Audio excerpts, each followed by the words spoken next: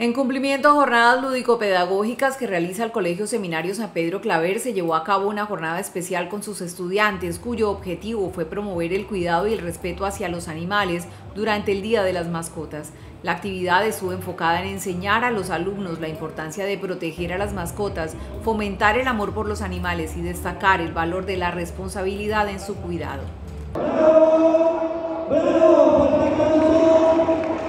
Además de esta bonita y divertida actividad, la comunidad del seminario cumplió la cita anual en el tradicional bingo claveriano, evento que este año alcanzó su edición número 50, la cual tiene como propósito fortalecer el apoyo a las misiones de la comunidad claveriana, consolidándose como un espacio de integración familiar y de solidaridad.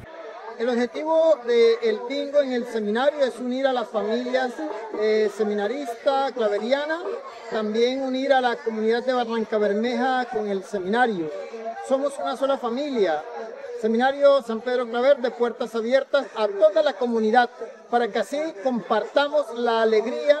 la fraternidad y el servicio que caracteriza al Seminario San Pedro Claver. Eh, muy bueno, es la integración acá de la familia claveriana y en gran parte del pueblo barranqueño, los cuales ven en este bingo pues una gran oportunidad para integrarse como familia. Bueno, mi experiencia en el bingo del seminario de San Pedro Taver, pues ha sido una experiencia muy buena, ya que eh, eh, estoy compartiendo